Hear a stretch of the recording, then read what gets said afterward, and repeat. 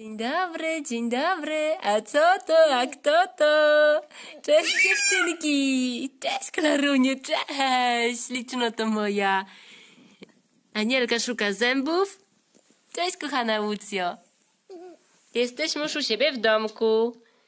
Dwa tygodnie byłyśmy u babci, u dziadka i wczoraj wróciłyśmy do domku.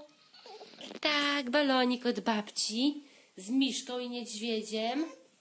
Też przyjechał z nami. Łucja, co się dzieje, skarbie? Dziewczynki poznały swój pokój, bardzo się ucieszyły z łóżeczek, z karuzeli swojej, ze swoich zabawek.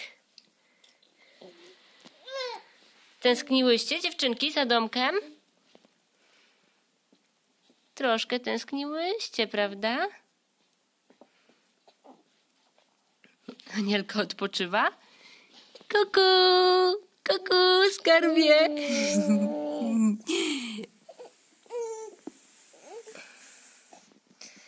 Dziewczyny są wyspane, najedzone. Oprócz Łucji, bo Łucja nie spała dzisiaj w ogóle. Tak, Łucja?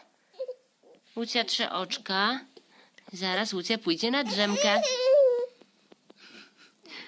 Anielko, co ty tam tworzysz?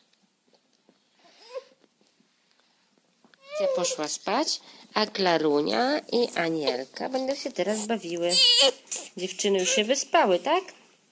Spałyście trzy godzinki, a w tym czasie Łucja z mamą rozmawiały sobie.